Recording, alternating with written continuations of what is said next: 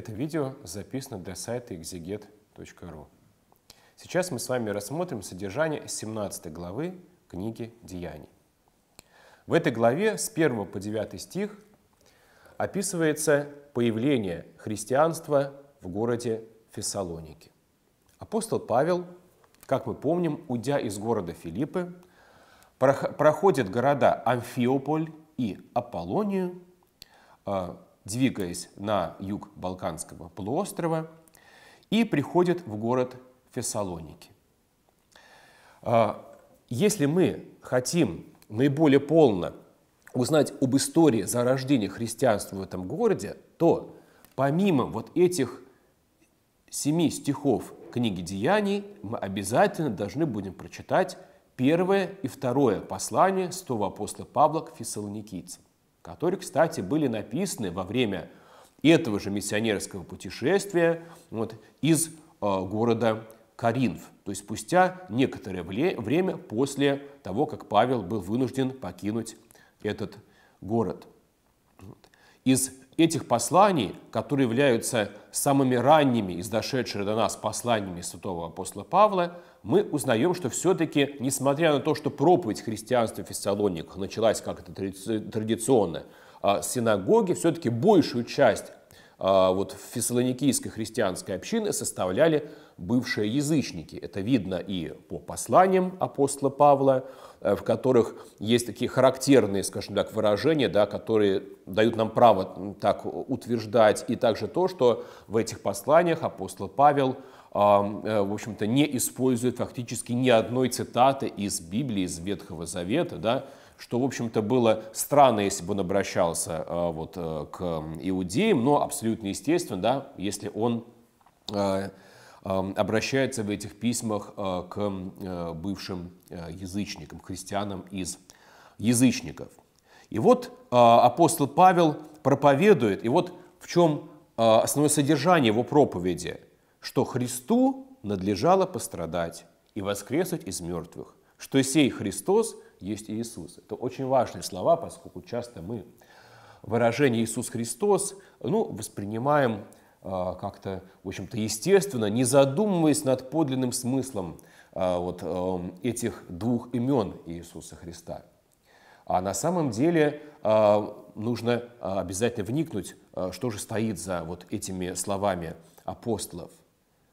А значит, это очень важный момент, что именно тот Иисус, которым вам проповедуем, он и есть обещанный пророками Христос. Потому что Иисусов было много. Но вот что именно вот этот конкретный Иисус, да, которого мы знаем, которого мы проповедуем, вот именно Он и конкретно Он есть единственный и обещанный некогда пророками Спаситель Христос, помазанник.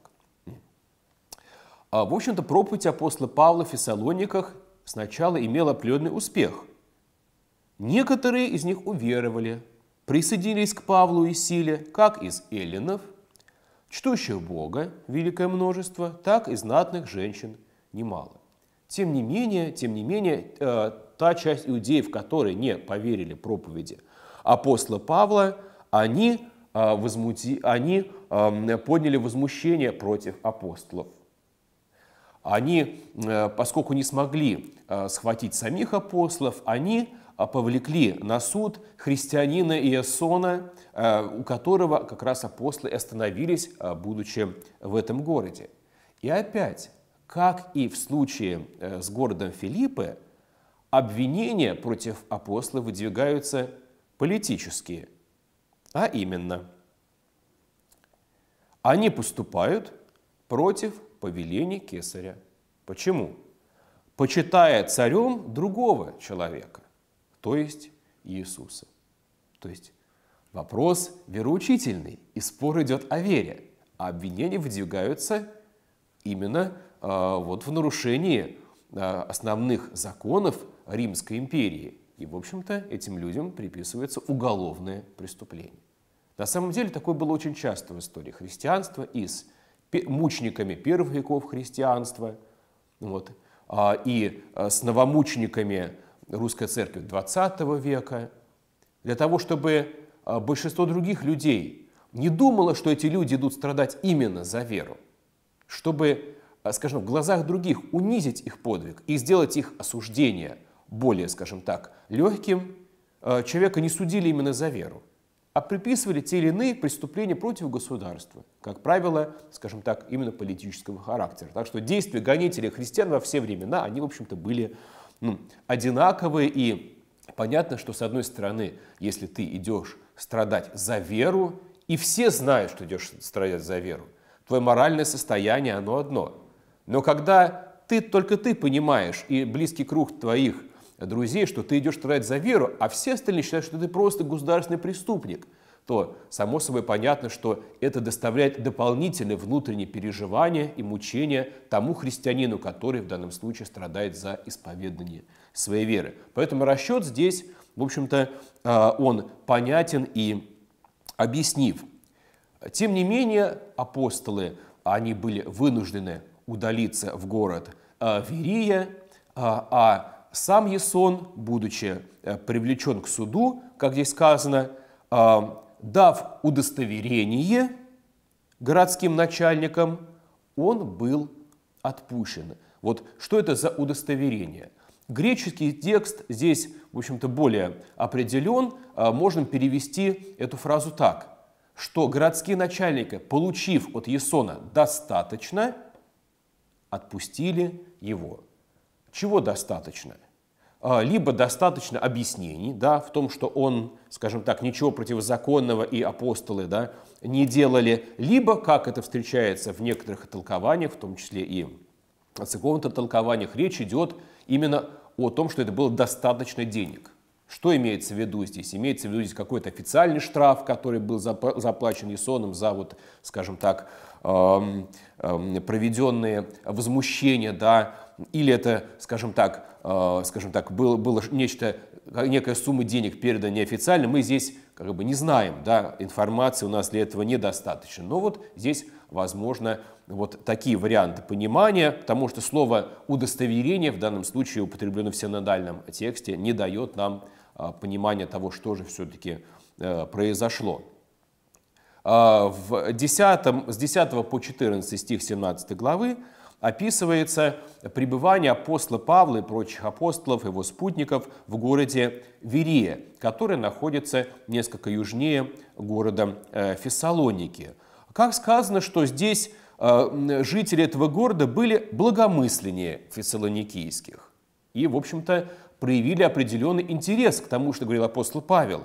Они ежедневно разбирали Писание и пытались понять, а точно ли так учит Священное Писание, как говорит об этом апостол Павел. Вот. Вот за это э, писатель Лука хвалит жителей этого города. Более того, что многие уверовали из эллинских почетных женщин и мужчин немало. Тем не менее, э, иудеи, которые противились апостолу Павлу в городе Фессалоники, пришли и сюда, и итогом стало то, что народ пришел в возмущение, э, восстал против апостола Павла, и он вынужден был из этого города отправиться дальше. Он э, далее путешествует к берегу моря и морским путем отправляется в город Афины, в то время как апостолы Сила и Тимофей на время остаются в этом городе, а в Афинах апостол Павел будет, будет ожидать их э, пришествия туда.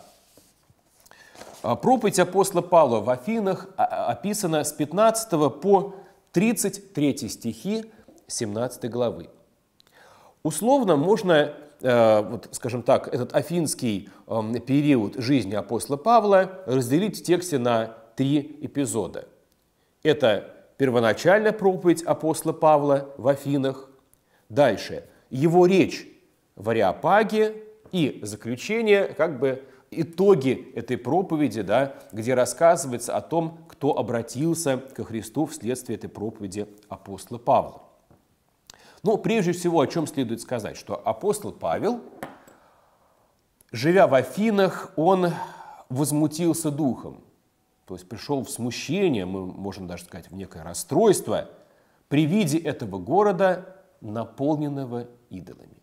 Действительно, Афины – это скажем так, центр языческого мира того времени, это центр э, греческо-языческой э, философии.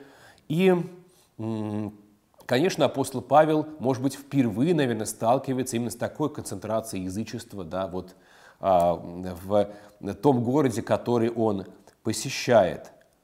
Тем не менее, тем не менее, он на площадях и при личных встречах и в синагоге а, общается с людьми, рассуждает с ними о Боге, а, но, а, как тут сказано, некоторые из эпикурейских и стоических философов стали спорить с ним.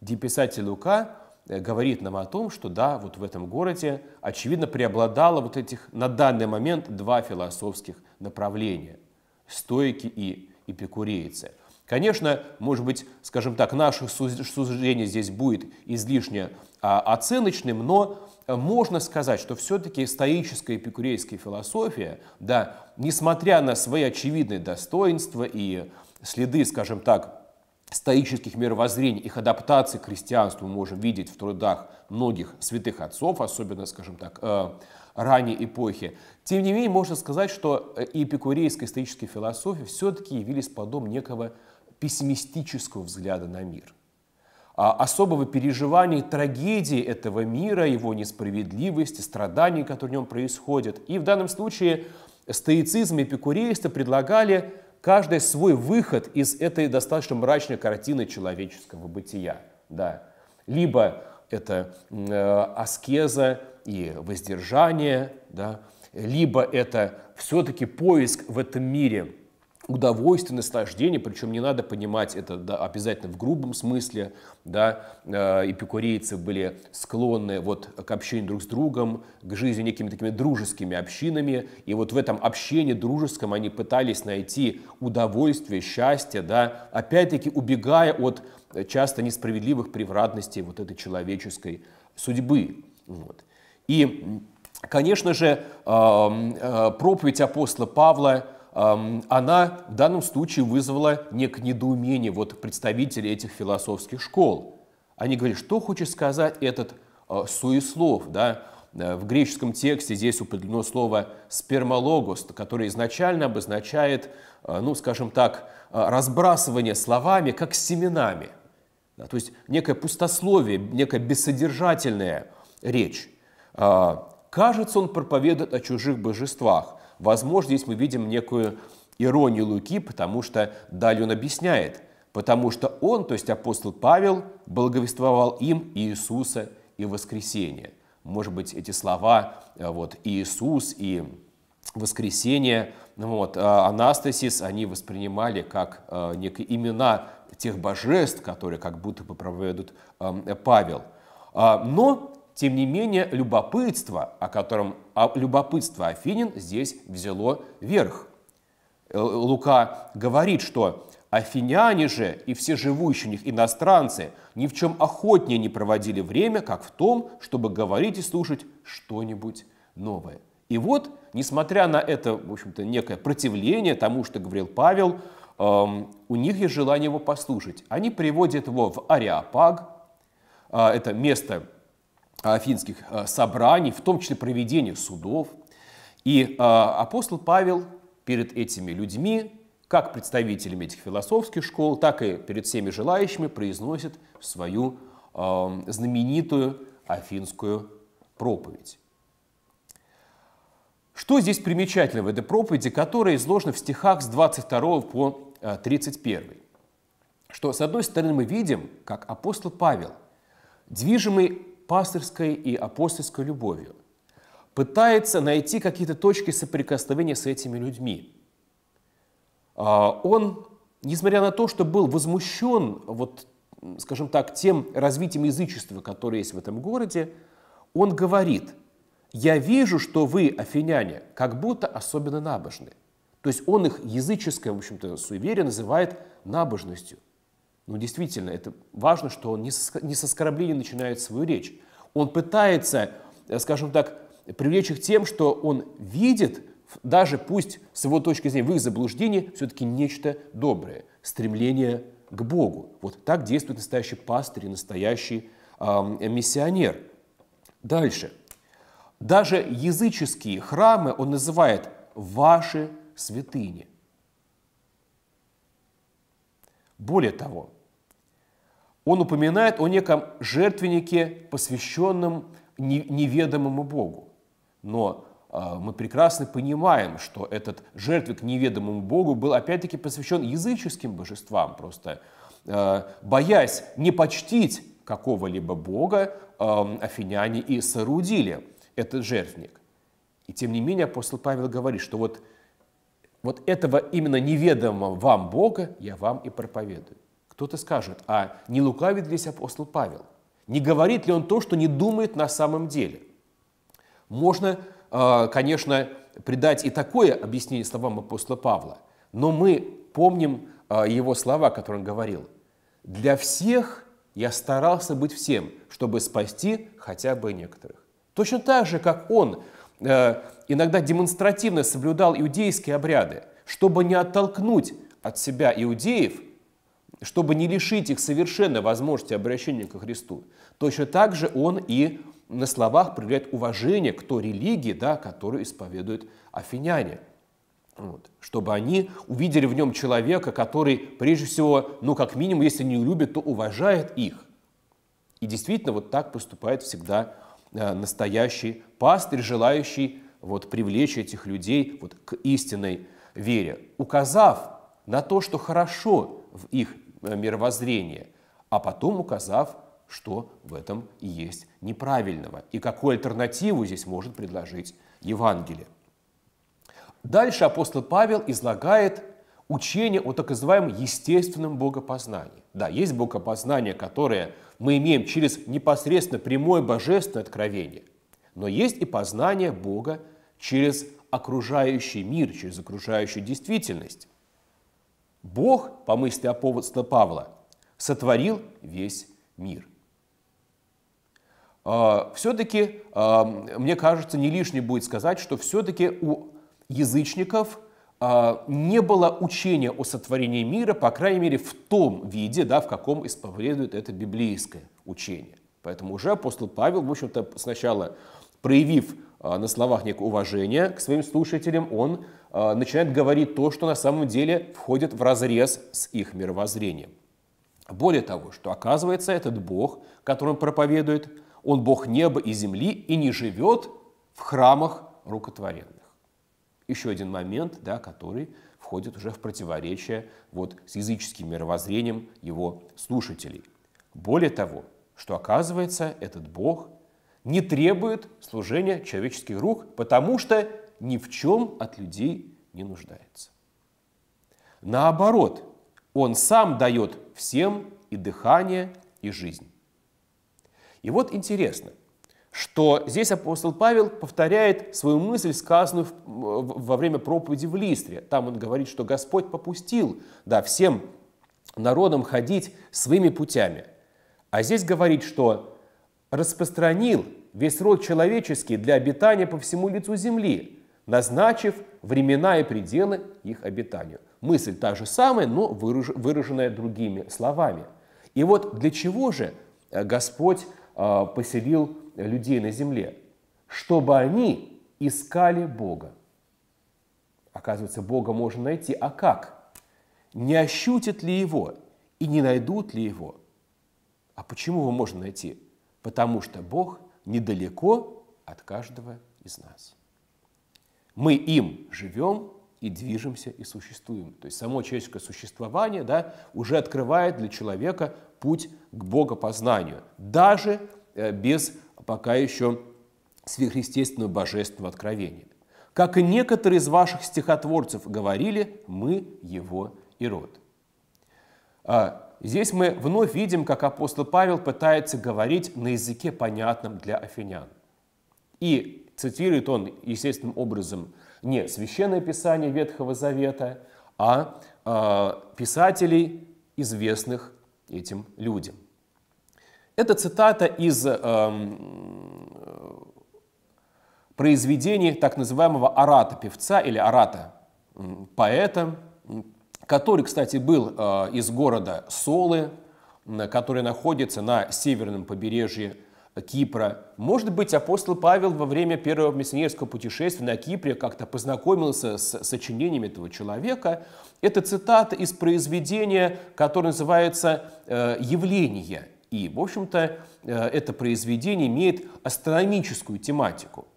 Но, скажем так, будучи язычником, Арат начинает рассуждение в этом своем произведении именно с рассуждениями о Боге а именно о Зевсе.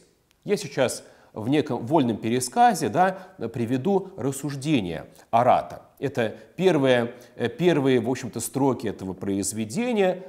Он считает, что необходимо э, все начинать с Зевса, с обращения к Зевсу, потому что Зевс, он всегда на устах у нас, мы всегда призываем его в помощь.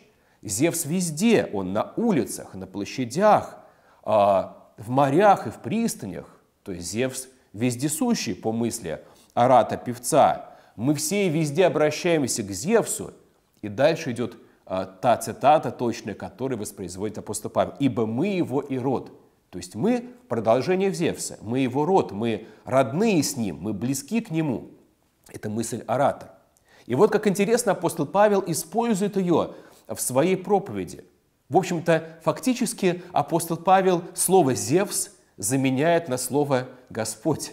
Да? И а, вот эта мысль о единстве людей с Зевсом в устах апостола Павла становится а, идеей а, о единстве людей с Богом. И, следовательно, раз мы с Богом едины, раз мы близки к Нему, значит и мы можем Его познать. И значит, нет оправдания, в общем-то, атеизму. Но, тем не менее, тем не менее, сейчас наступили какие-то иные времена. Апостол Павел говорит, ныне закончились времена неведения. Неведение чего? Истинного знания о Боге. Да, раньше, до пришествия Христа, люди ходили своими путями и искали Бога каждый как мог, и в определенной степени находили Его. Но эти времена закончились. Наступило какое-то определенное время, когда человек должен сделать выбор – потому что Бог ныне повелевает всем людям покаяться. Ибо Он назначил день, в который будет праведно судить Вселенную. Нужно покаяться, будет суд.